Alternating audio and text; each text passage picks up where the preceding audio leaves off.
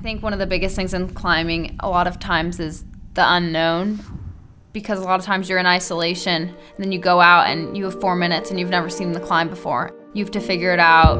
You have to kind of know what to do, know where to grab the holds, understand where your body needs to be. There's a crowd, there are lights, and it's exciting.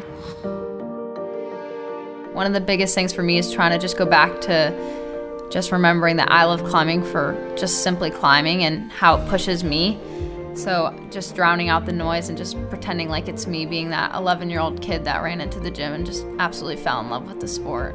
When I was younger, I used to just kind of be climbing trees and on top of playground parts that you weren't supposed to be on top of. And our family friend had a neighbor that did climbing and there was a facility near our house and she suggested that my mom bring me in and I went in and absolutely fell in love and here we are.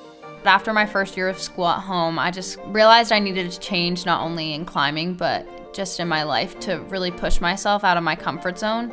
So I was looking for Catholic and exercise science, and when I walked into the chapel, the big mosaic just kind of like captured my heart, and it just kind of all felt right. So I kind of knew that this was like the next move for me. I want to go back to Collegiate Worlds hopefully at the end of this year. Obviously, I want to keep competing in the open circuit and hopefully partake in some more World Cups in the next coming years.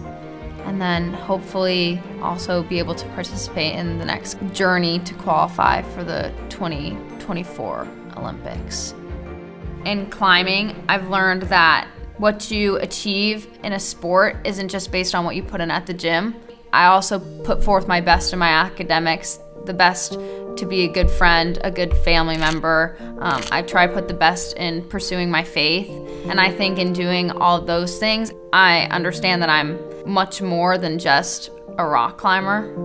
I have to remind myself that sometimes I need to fail in order to really succeed. Sometimes I can be really hard on myself in my training sessions. If I was just achieving and doing everything in practice all the time, it's probably not hard enough and I'm not becoming the best version of myself. A lot of climbing is mental and a lot of it is being able to move past mini failures. You are competing against others, but climbing is really not competing with others at all. When you sit in that chair, no matter what the person in front of you did on that climb, it has no effect on you unless you let it. But if you sit there and realize that what they do doesn't dictate your performance at all, you kind of really get to just be free in that moment of, I'm gonna give my best. And at the end of the day, whatever my best is, I'm gonna walk away happy.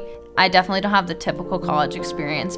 I'm training and then the next weekend I'm gone at this competition or the next weekend I'm gone there. So I like that I'm able to get my education while also still being very seriously competitive. It's not the typical lifestyle, but I mean, I absolutely love it. I'm Megan Lynch, and I'm a competitive rock climber.